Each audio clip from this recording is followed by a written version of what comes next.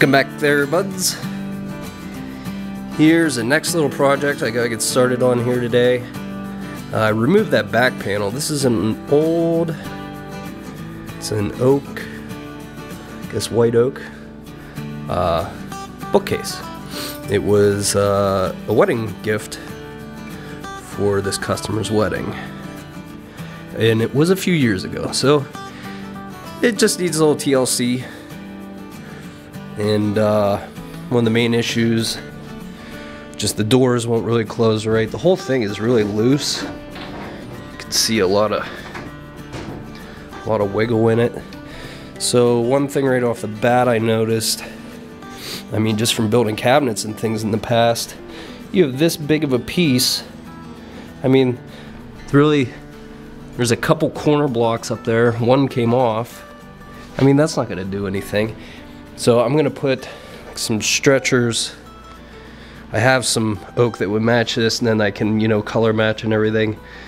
Maybe do about a, you know, probably about a three or four inch across the top, one across the bottom, and that'll make it very strong. It won't be any more wiggling. Plus this top looks like it's about ready to come off. So just gotta get that off and reglue it. And overall, I mean the finish, finish on these sides and everything look good. The only part of it that really looks that bad up top there it's missing a little bit of finish. And uh, you know just some scratches and things like that. So what I might do when I get that top off I might actually just uh, sand that down and just refinish the top to match this. And then clean up and touch up the rest of it.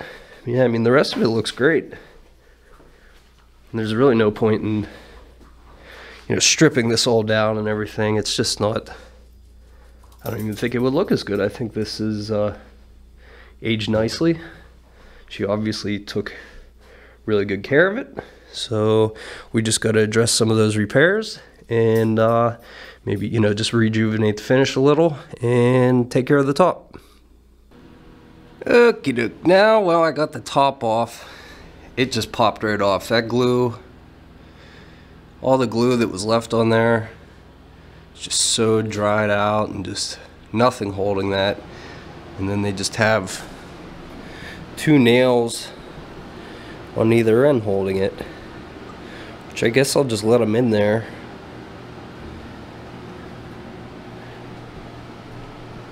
yeah so the rest of this is all down along the bottom it's so loose you can see it move. I basically think I just gotta knock it all apart, reglue it all. There's no sense in just doing that one little repair and the rest is still all loose. So I'll just get it all knocked apart and get it cleaned up and ready for glue.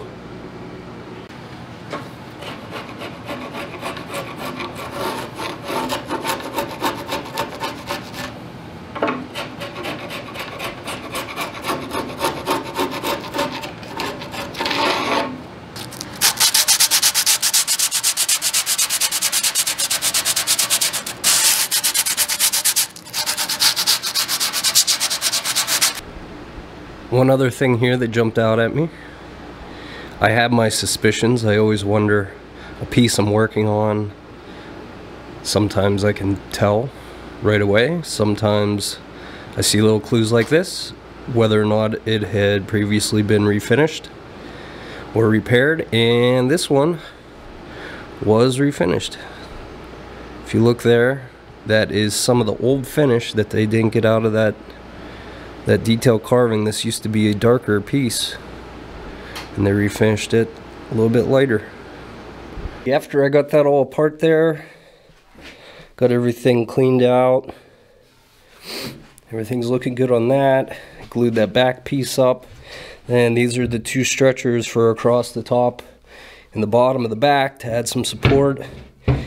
And I decided to use pocket screws to hold these in. And I typically frown upon pocket screws, but since this is basically a cabinet and that's what pocket screws are made for, I'm gonna use them. So it'll add a lot more reinforcement, help that glue get in there better because there's, I mean, there's really nowhere how this was traditionally built. If you could see, there is like a stretcher up here, and they just nailed in from the side of that to hold that up. And I don't know, that's not, it's not exactly how I want to do it. And you can see here at the bottom, two nail holes there. So I also put them across, this will be across the top front. That'll add a lot more support. You're never gonna see these. You'll never know these are here. I'll know they're here. And I guess you will too, since you saw this. But uh, yeah, these will go like across the back then. And this will be, pocket screws will be on the back side. And that whole back panel will cover anything. Hopefully I can get this back together before Bucko eats it. So now, I also cut a couple more, those two corner blocks. Top here, those are missing. Let's cut new ones of those. And also, the doors originally, when they would close, they would just pretty much be pushed right back in through. So, kind of wanted to mimic that detail, but just make it a little bit taller. So I got that all cut out. I get that on there. And then I also just made this little piece for the top. There used to be something up here to keep the top of the door from going in, but it fell off too. So made a new one of those. So I just got to get all these on, top, get everything just glued back up for the day and call it a day. Ready, Buck? Ready? Ready to help? Are you to help?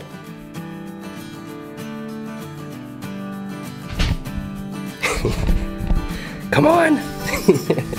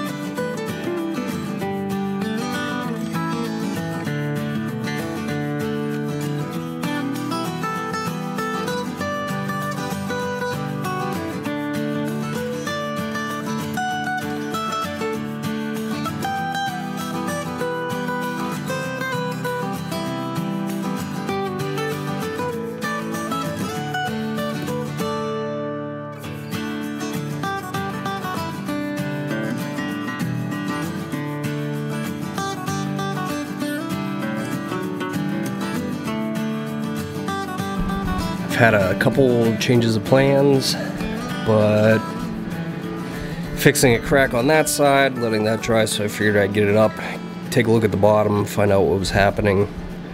Uh, so there were,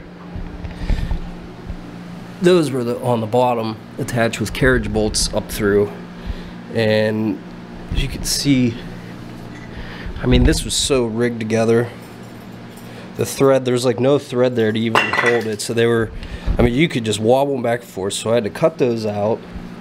Once I got that all out, uh, I'm kind of rebuilding this bottom because it tended to lean frontwards.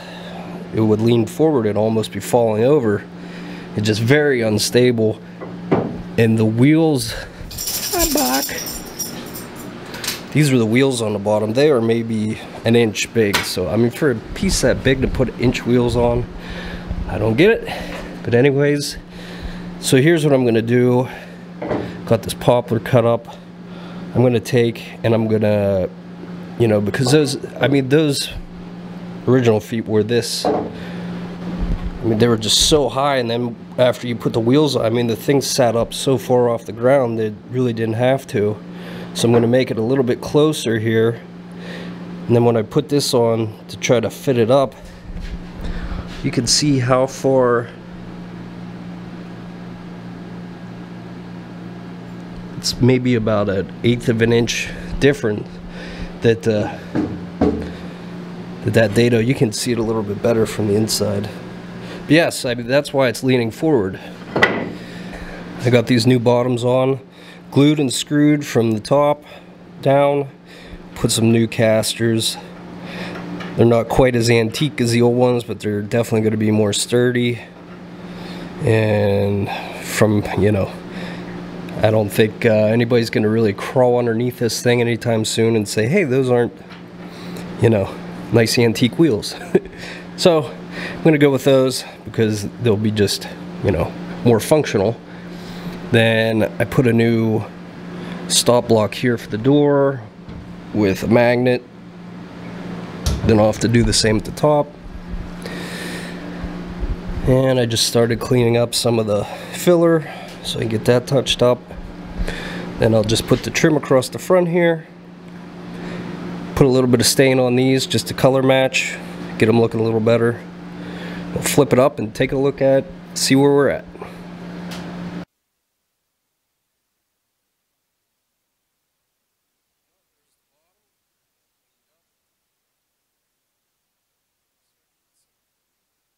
Now that I got this set up, Next thing I did, got these doors all lined. I put, uh, it's like the magnets for cabinet doors on the top and the bottom. So now, closes, it stays closed. It's all lined up pretty good.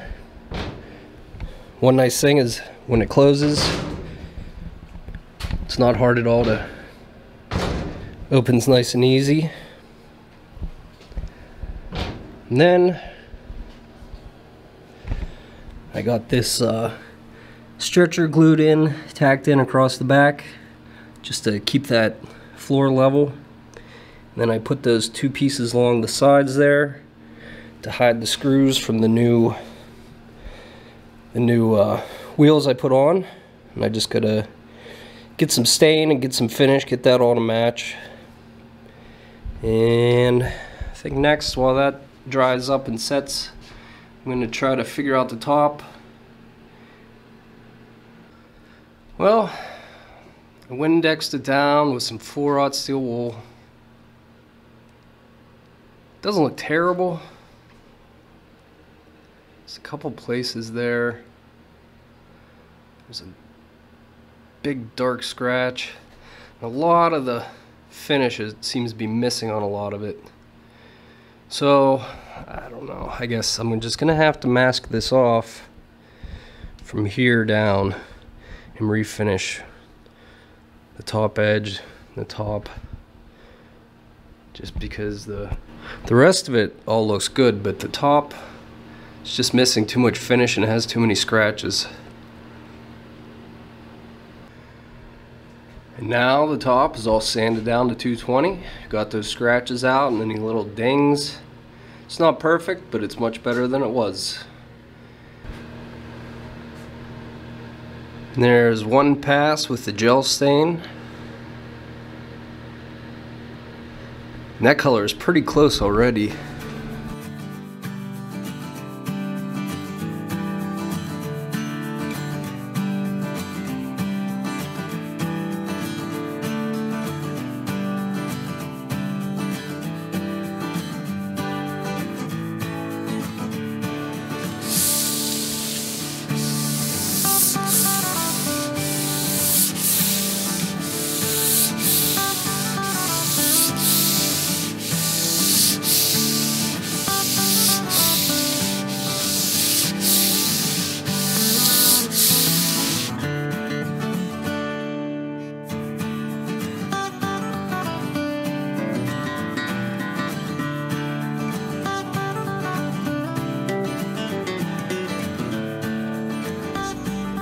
Well, I gave it a day to dry.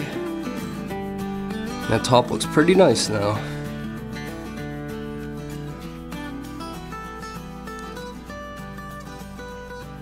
No more scratches or dings in it. Got it to match up with the rest of it. I also masked off down in there those new pieces I added. Got those sprayed. So, just got to get all the masking off and give it a quick once over the rest of the cabinet. Get it all cleaned up and touched up. Wipe down the glass. And as usual, here are my three go-tos for doing any kind of cleanup touch-up. I begin with, I dilute Windex by half, just with some water. Just to break it down a little bit. If you have this full strength, it would really ruin the finish. But just a little bit of that ammonia in there helps to break down the oils in that finish and clean any of the, you know, wear and tear and just normal, you know, uh, the oils from our skin, just atmosphere, the air. There's a lot of uh, contaminants in that. So that helps to prep the surface and clean it up. And I'll just uh, use the, the 4-aught steel wool, wipe it down with a clean rag. And I never spray that directly onto the furniture. You want to spray it on to the steel wool. I've done that in the past. And you can find a lot of little tiny dots from where you spray it. So, just a uh, live and learn process. Then the next step, I like this product. Been using it for years and years and years, and I've seen a lot of the furniture that I have, uh, you know, cleaned up. You know, years later, still looks exactly like it did the day after I did it. So, I can tell you that that product does work and it does last. It doesn't fade. It doesn't, you know. So, I like to stick with it. Once again, I just wipe it on with the grain with a little bit of 4-aught steel wool. Then I'll let it sit a little bit because this is made up of just basically staining solvents that will eat into the existing finish to just revive it. Then I'll use a little brush here to work it into any of the cracks or crevices or anything in the any kind of detail carving. Then after that sets up a little while, this same company, they have a product and I never used to use this, but then I discovered this, and I do like to use this now. It just helps to uh, add a little bit more, I don't know, I guess just a little bit more sheen to it. And I don't like a high gloss finish on anything, and it doesn't give it a high gloss finish, but it just, I think it kind of adds just a little bit more, protects that almost, helps to seal it in almost. But uh, yeah, it's just beeswax and orange oil. This is not food grade though, so I don't use this on things like cutting boards or, uh, you know, any kind of thing that you would uh, use around a kitchen or eat with. And you just wipe that on with a with a rag, let it sit a little while, usually, you know, 10-15 minutes. And then I'll just give it a good wipe down a couple times. And that's it. Here is a side I'm going to show you from uh, start to finish with that process. Can just see what the finish looks like now compared to what it will look like when I'm done.